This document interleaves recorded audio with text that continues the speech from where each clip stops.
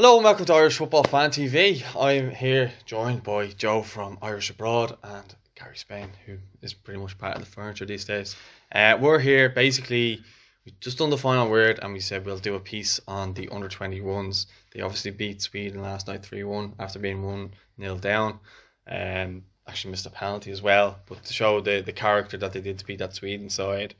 Um, let's just talk about some of the players, like, and you know, I suppose the title of this video is going to be called "How like just how good are these under twenty ones?" I mean, there's so many of them that are, you know, either a good championship squad uh, teams or you know playing with Premier League teams, albeit they're not getting first team football just yet. Maybe Bar Connolly, but uh, Idah's playing with Norwich. You know, uh, I imagine at some point during the season he'll get a run. Mm-hmm. Parrott's obviously with, with Spurs, he'll some at some point I reckon get a run. Uh, Connolly, I think he's going to get more ga- uh, game time of all the forwards probably. Yeah. Afolabi has got just gone to Celtic. He looks very good as well. Um, then you got Jason Molumby, who's just gone t- on loan from Brighton to to Millwall, and he looks really good. And Mick's a big fan of his as well.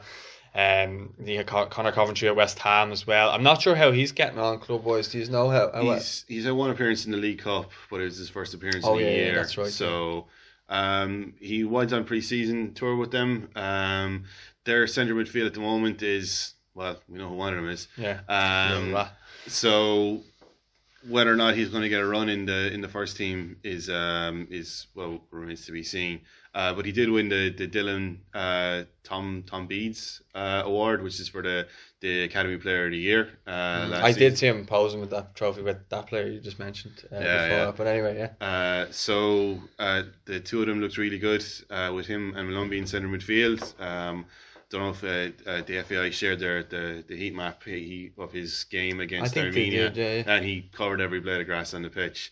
Um, Molumby had a very good heat map yeah. against Sweden too last night. They put up too. Yeah. Okay, I haven't seen I haven't seen it yet, but I, I at the uh, the game against Liechtenstein uh, or sorry Luxembourg in the in the the, the first qual- uh, qualifier, I thought Molumby covered blade of grass in that game as well. So it looks like we've got two really really strong box to box midfielders in centre midfield in the under twenty one setup, and um, you know one of them alone and he could build a team around. Um, but the two of them make our centre midfield look solid. Even with that, if Jason Knight at Derby as well, mm-hmm. you know, and, and he he's he's starting games only. Yeah, he's getting a lot of game ago, time you know? with Derby. Yeah, yeah. So Cocu seems to really like him, and yeah. he's got Rooney coming in there, who's going to be learning off soon enough as well, which can't be a bad thing. Yeah, um, then you kind of go in defence as well. You've got O'Shea at West Brom. He's kind of there thereabouts as well. Their manager seems to like him. Um, you've got Masterson. You've Lee O'Connor, the, yeah, the full back, who was very good. He's player I, have seen from even from under seventeen level. Now he was at Man United. He just moved to Celtic on deadline day, and he was brilliant in the under nineteen Euros as well. Yeah, and and, and even in the under 17s in, in Croatia two years earlier. Yeah, yeah. He, cap- he, he captained us in, in Armenia. Yeah, and he played centre mid that uh, for, for yeah, that as well. So his yeah. versatility is very so, good as well.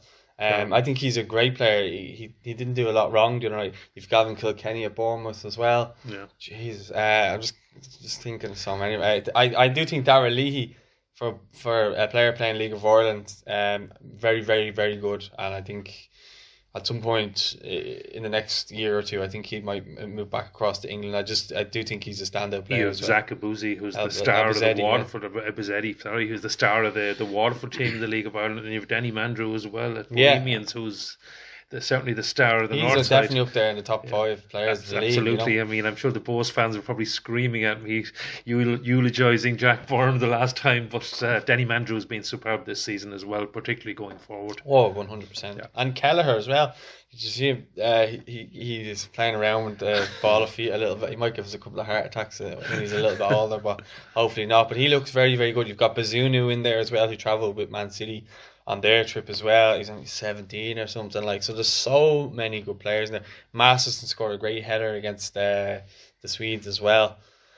I suppose the. Can you get the, the list up? As it's just see if we've missed anyone else there. Just kind of Troy Parrott. Nathan Collins not even yeah. uh, there. He's been injured. We did say Troy, yeah. but he's at Stoke, he's captain Stoke at 18. Yeah. Uh, I know he's, he's been injured. Uh, Scales, Liam Scales from UCD, I think he's gone to Bristol at some point. I'm not sure when, but mm-hmm. he did have that trial at Man City. Neil Farrugia still has to come back there, who just yeah, signed Shamrock Rovers. Uh, Connor Ronan has to come back in there with yeah. Wolves. These there's so many yeah. players that are just like, and I seen a tweet today saying like, "What the fuck has Noel King been doing the last ten years? Like most of these players are all homegrown, you know." Uh, and then I think I don't think really there's anyone we're really missing there. Uh, no, not that I can think of. Um, no, that's that's pretty much it. But like, did, did you see the goals from the game last night? Yeah, I mean, I was there on Friday night at the Armenia oh, yeah, game, yeah. and uh, I, I, was just following updates in the Aviva last night, and I, I have since watched the goals back. But we got we actually and, uh, were yeah. we were downstairs in the in the media room in the Aviva, and. Uh, all the journalists and everybody there, we all had dodgy streams on one side of the room with 10, 10 seconds slower than the other, and they, they knew when Aaron Connolly missed a penalty and we didn't or whatever. But uh, I just think the fight in that team, like, and you do remember a lot of these players were playing that under 17s tournament that got, uh, remember the Jimmy Corcoran was the keeper and, he, and he got sent off from being off. That team, and they went at, at the Netherlands, they they were a goal down. Troy Parrott scored that game and they showed a lot of fighting character in that team, and they just seem to just seem to love playing for Ireland, and they just seem to be a very tight knit group. The whole lot of them, like they all, like I know social media, social media, whatever, but they all seem to be, you know, they all comment on each other's stuff. There's loads of stuff. Like Cam Ledwidge was another player. Uh, who was very good at Southampton. Uh, I think he's a left full or a left winger. You can play both. He played in the uh, 19s as well. Really good player. Um, but they're all sending each other messages and all. They all they all really like uh, seem to want each other, and they all dro- seem to drive each other to do well. Like even look at the strikers now. Afolabi was on. You know, Troy Parrott was benched. Um, he came off the bench, scored two goals, two, yeah. two cracking goals as well. It just seems to me. I said to you the other night, he didn't look. Uh, I didn't think he looked ready for for international football, and then he goes and does that last night, and then looks totally ready. uh, you know, so it, it, I don't know what it was. Maybe I just thought maybe it was his first under twenty one game I just think maybe you know on another night those chances that he got goes in and he looks a, a, much better player. I never thought he was bad, mind you. I'm just saying I just thought the physicality wise he's he, he's still he's taken a bit of a growth as well. He looks a lot taller than he was uh, last seen him uh, at the player of the year. He won the, the under sixteen player of the year, uh, yeah. but he looked a bit smaller then. But obviously seventeen now and he's taking a bit of a stretch. But he uh, on the night against Armenia, I was just thinking like, oh, I don't know if, if the full physicality of a of a proper international would, would suit him right now, and I thought maybe Connolly would be more suited to it. Yeah, no, well, I think it was the, the time, I, think it was the right decision to, to leave him with the under twenty ones rather than oh, yeah, play against yeah. Bulgaria. I think it's been proven by the result. Um, Troy has probably been a star since under. I actually saw him play uh, under 15s against Turkey, and uh, he was already being talked up at that stage, and uh, there was before. I think he was already linked to Tottenham, or I think he was. I can't remember exactly, but he was. Um, he was at Belvedere. He was. At, yes, could be wrong on that. No, he wasn't. Um, yeah. Um, they're so, always uh, sharing something uh, about them. There's pride and joy. And Troy was defi- that, definitely the star of the under 17s that team that, was, as you said, was beaten by Holland and that disgraceful penalty shootout. I think Collins was part of that team as well. Nathan Collins, I think. yeah, I think he, he was. Yeah. And uh, but Troy was the star. I mean, he scored was it three goals? I think from what I can remember. Yeah, yeah. Uh, but certainly scored. It was coming to a point that we're getting so much momentum that RT actually covered that last game, and Martin yeah. O'Neill was actually at that game. He was, yeah, yeah. He was gone mad at the ref about the yeah. send yeah. So he one good thing he did. I think he, he went out. The equaliser in that game. Yeah, yeah, yeah, yeah, yeah. He went out onto the pitch and also, yeah. Yeah, so, after the game to give out to the yeah, yeah. No, I was there. I was oh, actually oh, yeah, watching. Yeah. Geez, what's he going to do? Where now? does he not be? Like it's everything, literally. So, um, where was yeah, that tournament on? That was in England. Oh, okay, so that, that game was at Chesterfield. Okay, so, um, but he even in qualifying in qualifying for that quarter final against the Dutch, who went on to win the tournament, by the mm-hmm. way, and you, you never get a bad a bad Dutch side at underage level. Um, we beat Denmark, and uh, I think we beat Bosnia, if I remember correctly.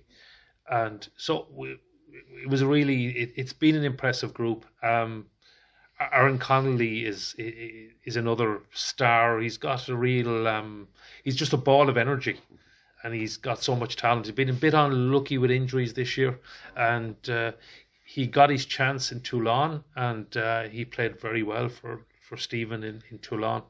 Yeah. And uh, I mean, it's brilliant that he's he's already uh, played playing for Brighton, and uh, he probably next in line now for the uh, for the Premier League squad if anyone gets injured, or maybe he could even force his way in. Yeah, the thing about it is, I was talking to Shane Dawson, he works for uh, Eir Sport uh, yesterday, and he was saying that he spoke to Connolly and he doesn't like playing on the on the on the left hand side. He's like, play me through the middle. That's my best okay. position. I hate playing wide or something. So it's interesting that Kenny hasn't playing so well on that left hand side. If that is the case, if he just wants to be down the middle, obviously he's doing it for the sake of the team or whatever. But Connolly, he looks like um, like when you watch him play, and I remember watching him in the Toulon tournament, when I remember putting up a tweet or something saying, "There's he looks like a right horrible bastard to play against." I love it, and I meant that in a complimentary yeah. way. Like I I loved it, but I actually spoke to him on Friday night, and he's actually the nicest young fella you'll meet. He's a really nice young fella. So, so there you go. Like he just yeah, he looks like he wants. He's just you. probably a different personality on the yeah. pitch. Yeah, yeah. He, he reminds me of Damien Duff, and the first he's probably the first player I can look at in a green shirt and say, and hopefully he'll be as good as Damien Duff. Yeah. But I mean, it's that kind of. Uh, that kind of energy, that kind of action, and uh, just yeah, he's all go, up, all go, all go, ball of energy. And he, and the thing is, yeah. is he'll actually whip a ball across as well. He won't just stop, cut in, and try and shoot all the time. He does try to get balls in. He okay. set up Troy the other night. I'm pretty sure he had a part to play in the uh, the Troy Parrott. I know Afolabi done well. And uh, the ball obviously rebounded out to Troy, and he took it first time. It was a great finish. Yeah, yeah, and he won a penalty as well. And and, and unfortunately the Swedish keeper made a superb save. It was a great save. It was fair. a great save. It was. You know, I, I was following it on UEFA.com, and yeah. you don't obviously. I, I, I my um, 4G wasn't good enough to get a, screen, a, stream on my phone, so I was only following the updates. But I've watched it back since. But uh, yeah, it was it was a superb save. Yeah, and I thought Masterson's header was very. It reminded me of like a Richard Dunne or kind of a John O'Shea type of. Yeah. yeah. typical centre halves, you know. Yeah, I, I, think he's more like of a. Him. He's more of a. I wouldn't say Richard Dunne now. I think. No, it's uh, the type of header. the type of header, maybe. Yeah, yeah. Uh, Conor uh, Masterson uh, is more of a ball playing. Yeah, no, I'm half, not comparing yeah. his, uh, okay. his, uh, his um. So his, his playing ability or anything. Yeah. I'm not comparing that. It's yeah. just the header itself. I love those types of headers. Okay. You know, that's all. He's someone I'd like to see get a lot of game time. Um, because okay, he's been at Liverpool and he got a fantastic grounding there, but I just wonder had he been out on loan and spent uh, got a few games under his belt in the lower leagues and yeah. To so you want really, to just get as much experience, just probably, to get even just to get some experience. Yeah, I mean we're talking about Jack Byrne. I mean Jack Byrne. You you mentioned the clubs, the Wigans, the Oldhams, the Blackburns. Yeah, went over and played in Holland he's been kicked off without having seen too much. He's been kicked on a lot around England and up to Kilmarnock, where they don't play any football up in Scotland. Really, sorry, yeah. but uh, you know, he I mean, he would have he would have been kicked sorry, up in the air in uh, certainly in Kilmarnock anyway. But uh, you know, and and that would certainly toughen him up, and uh, it, it's shown it's shown in him. You know, that, uh, I think like the comparison. Well, when I was at the game in Luxembourg between Masterson and O'Shea was was you could see or Dara O'Shea had been out on loan at Exeter. You could see the difference that that first team football had made to him. Masterson, while when he had the ball at his feet, he looked more comfortable, but he just seemed to be like uh, a little bit short, a little bit uh, behind the the whatever play was going in front of him. It was Dara O'Shea was getting right in there and stuck in it every time. And like I know we said Masterson is a ball playing uh, centre half. He's in but I think O'Shea is more of a he's a stopper. Um, yeah, know, he's uh, he's uh, and you know he's made his debut at West Brom now, and obviously they've got Bilic in charge. And if you want to learn how to play that sort of defence, that's the man to learn yeah. from. And he seems to be a very big fan of his as well. Yeah, um, yeah. Bilic does. He's he's had him either on the bench or he's been playing. So he, he and he's a big boy too. Mm. Um, I like him as uh, I, I like them all. yeah, that's that's the trouble. It's just uh, you know, if if even five or six of them can come true, you know, if all of them can come, come true, that'd be great. But if you know five or six of them really, you know, make it at a at a, at a you know, good club. Let's not forget that uh, Luke Connell was also hanging around in the squad there. He was he was in Tallaght on Friday as well. Mm-hmm. So a lot of making up about him. Oh, will he play for England? But he is in a, amongst that group or whatever, and I think he's in good company there because he's got Celtic teammates now with Afolabi mm-hmm. and uh, O'Connor, and I do think that, you know, I I wouldn't be surprised. as you've got Barry Coffey there as well, but he's not as a coach. Yeah, so I do think you're going to see a lot more Irish players probably going to Celtic, and mm. whether they improve with Celtic together or whether they go to Celtic and maybe move on from Celtic after time. With that, okay. time will tell with that. But I do think Afolabi and I do think Lee O'Connor are going to be very good players going forward. Yeah, and hopefully uh, they'll get a chance to to impress. Yeah, know? exactly. Yeah. You know what I mean? Because like I mean, Celtic don't have too many strikers that you know blow your mind. They've probably got Leigh Griffiths and Edouard, and then probably next in line could probably be Afolabi, depending on how he does. Uh, you were saying that Celtic signed, I think, four fullbacks. I think they signed four fullbacks, but I was delighted when I saw Lee O'Connor was going there. But I, I was maybe a little bit disappointed he was leaving. Man United were letting him go, but yeah, they signed four fullbacks, I think, on deadline yeah, day. So they got he, another player from yeah. Man City as well, and uh, like looking at the reaction on Twitter, a lot of United fans were shocked that Lee O'Connor yeah, had, uh, was was allowed to leave. But you know they did spend fifty million on Wan-Bissaka. He's in the England squad. Was he going to get ahead of him at uh, at Old Trafford? Maybe not. You know we don't know what the what he was told at Celtic, but you know he didn't go there to, to sit in the bench or play for the academy team. So you know we I, I do hope to see him playing in uh, at, at Celtic Park for you, even you know in the next couple of weeks. Um, like just in regards, because we've like ridiculous, endless amounts, and it's great to see. Obviously, there's a lot of positivity there. But is there anyone else kind of um that maybe feel should be trying to break into that spot? Obviously, Obafemi is kind of. I think he's more so going to be a senior player yeah. because he's playing Premier League football as well. Yeah, it's it's it's rare to see a player make a senior debut and then go back and play in the under twenty ones. And if he is playing Premier League football and he seems to be in the first team picture at Southampton this season, it would be hard to see him go and play for the under twenty ones. And we're in the the bizarre and rare position where we have three or four really really good strikers in that underage squad. So it means okay, we can let Obafemi go and play for the for the senior team. Um, you know, there's a lot of players that didn't make the under twenty one squad um, that could still uh, appear for them before the, the, the qualifying series is over. Like uh, Tyreke Wilson is at Man City. Um, you know Barry Coffey at Celtic. Um, so I think the real question is like, I mean, are we looking at an under 21 squad that can qualify for the championship for the first time.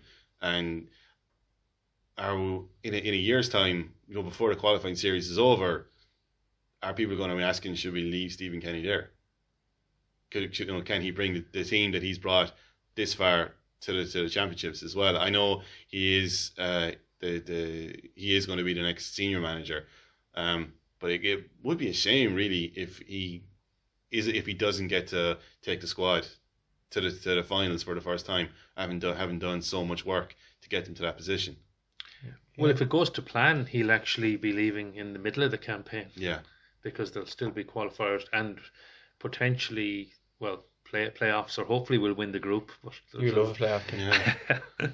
so that they're a little easier to understand the under twenty ones. But yeah, I mean the finals are in June twenty twenty one. So uh, if all goes to plan, he'll be national mm. team manager for a year at that stage, yeah. so he won't be going to Hungary or Slovenia, but hopefully we, we will be going there. Mm-hmm. I do think it's a it's a good point to make though as well. You look at a uh, our under nineteen team that went to Armenia, and I think we were missing maybe thirteen players, or was it that amount? Eleven, maybe eleven yeah. players. Yeah, there was. Uh, they were all bumped up. Well, some of them we, we were unlucky with injuries. Some couldn't get released by clubs, yeah. and uh, yeah, I mean we were missing so many players, as you said. But a lot of them would take that mentality. They were unbeaten. I'm pretty sure when they went yeah. to in qualifying. Yeah, we won. We won every match in qualifying. Yeah. I think if I remember correctly, we won all six games in yeah. qualifying. The only team to do that, and we beat the, the, same Dutch team that knocked us out at under 17 level in the in the, the first qualifying group. Um, and we went to, to Russia, won all three games, including uh, beating, beating, the, the home team in the in the last game. Um, and got to the semi-finals. Then I mean, went to Armenia and got to the last four at, at under nineteen level. Um, so I mean, that's quite an achievement. Yeah, but I do think Tom Mohan deserves a lot of credit as well because yeah. for the team that yeah. he went with, you know, they were, you know, they were saying that they were to bare bones. You also for, forgot to mention I did uh, Brandon Kavanagh. I can't get into the team from Shamrock Rovers who played uh, the under 19s tournament mm-hmm. as well. But he actually played in Kenny's first squad. I think he scored against uh, the friendly game. He scored for the under 21s, but I think he had just an all kind of oh, domestic yeah. team. Yeah. Um, so he played in there as well. So there's still the likes of him to come in there and do well as well. Matty Everett and all these kind of players who went from the 17s to the 19s as well. Seamus Keogh, he wasn't in that squad, but he was captain of the under 17s. Andrew Omo Omobamidele looks very good at Norwich as well. So there's players there, you know, that are coming through as well underneath the the, the twenty ones that could still mm-hmm. make it. Well, they, they won't be they won't be there for a couple of years, I don't think. But you know, Omobamidele's at Norwich. You know, uh, James Keogh is at Southampton, and also they're getting proper yeah. academy coaching. It's, well, it's starting to feel like. I mean, I remember with the, the I'm old enough, I'm older than you lads, but it, it, after the the end of Jack's reign, things took a bit of a, a downturn. But in, in, the late nineties, uh, we played a remember the cup. The senior team played over in uh, in the Czech Republic. I think it was in Olomouc, mm-hmm. and you had the likes of Damien Duff, Robbie Keane. Uh, so it was the the 16s and 18s that had won won the UEFA tournaments. Mm, Andy uh, Reid, John O'Shea, Andy Reid, John O'Shea, Richard Dunne. They all uh, and, and there was actually a couple of players that were fantastic talents that just were unfortunate with injury and everything. Thinking particularly Liam George, who was yeah. never unfortunately. Just, Wes Hoolahan's idol is cousin Thomas Morgan as well. Yeah, Thomas Morgan was in the, the team that went to Malaysia. I'm pretty sure in '97 in the World Cup. You know, and uh, but at that time there was just a crop of players came together and and came through and it's starting to feel like that again. You're looking at, I mean, we haven't talked too much about Adam Idah as well. Um, yeah, I just think the only reason we probably didn't is because he didn't light the place up as much as everyone probably thought he was going to. But there was so much talk about everybody else. But I do, when we will talk about him now that you mentioned him, um, I do think the key thing about the team as well is that there's so much players that, that can be rotated. Like Troy Parrott go centre forward, he can play in the ten, he can play left, he can play yeah. right. Connolly can play through the middle.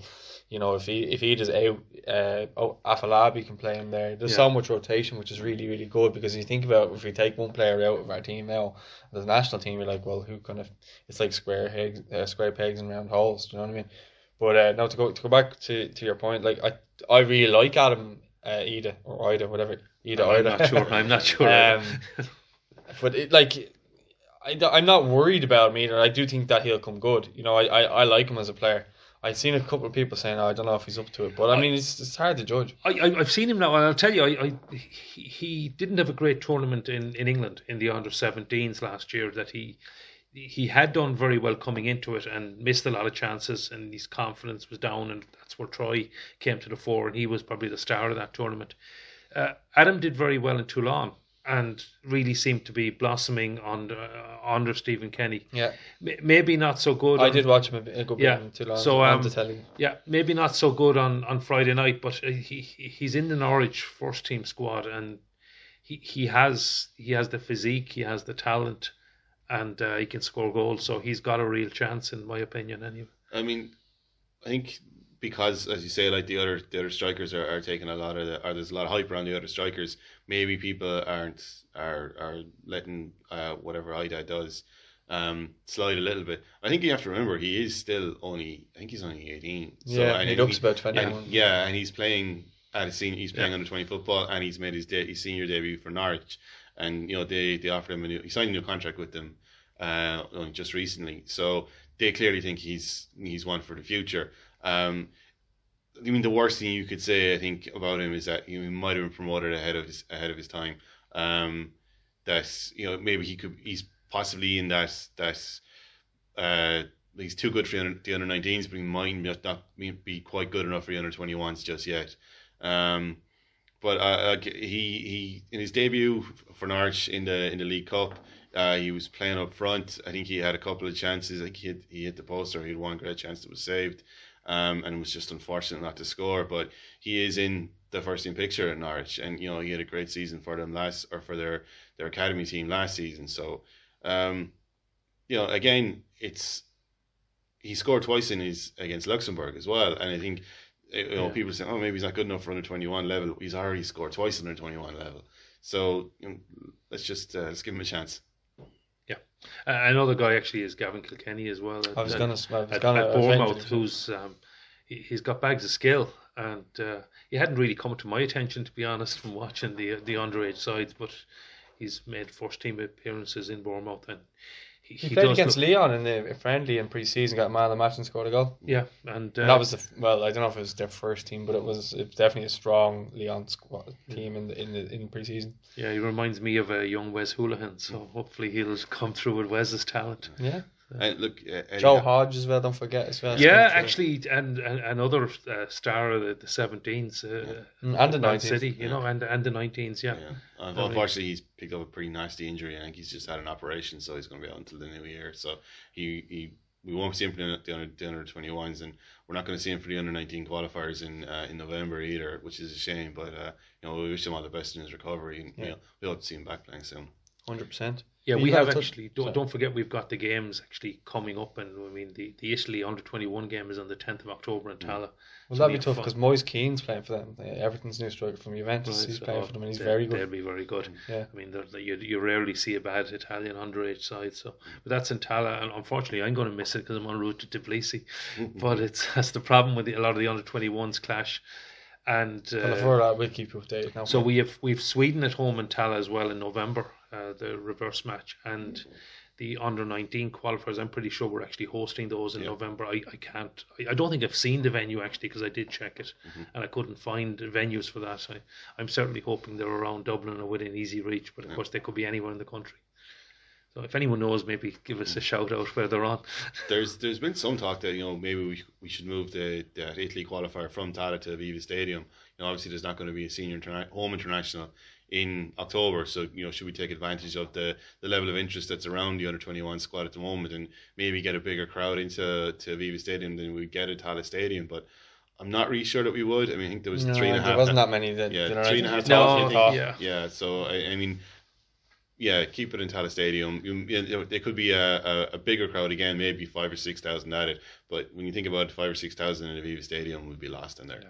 Yeah, well, I do think as well is that you know maybe if we if we could try maybe bring some atmosphere into the twenty ones games, it might lift them a little bit because there was times where it was flat there and there was no atmosphere and for the players to kind of you know spur them on. Which I thought maybe if you get I don't know behind the goal where the where the newsstand is, you know if you have people there chanting or whatever that that normally go to the senior games or whatever from the singing section. That might be an idea. Yeah, why not? I mean, I, I would like to see bigger crowds supporting the under 21s and the women as well. Mm-hmm. Women have a crucial yeah. game against Ukraine two days before the Italy match. Yeah. And that's in Tallaght as well. And you, you kind of hope we get. I mean, a similar similar crowd for the women's under 21s, yeah. I thought. From, what, from what I've seen, it's a fiver in for fiver in for adults. It's free in the season ticket. I think all under 16s are free as well. Yeah. Um, yeah, come on, come out and support. See the, see the stars of tomorrow, really. You know. Yeah, yeah that's. Uh, yeah, I think I think that's been it. It's been a great chat about them. To be honest, I, uh, sorry if we did miss anyone out. Like, let us know in the comments if there's a player that you really like and we maybe didn't give uh, enough credit to. Um, let us know your thoughts anyway in the comments. Don't forget to drop a like on the video. Check out Joe's Irish Abroad uh, page and uh, our Twitter page and website as well uh, if you haven't already because this is fantastic work. Gary, fo- follow Gary on Twitter because Gary's the guru of, uh, of Irish football. And uh, yeah, don't forget to drop a like and subscribe. Thanks for watching. We'll speak to you all soon. And if you have any other recommendations of stuff you'd like us to speak about, drop it in the comments and let us know. Thanks very much for watching.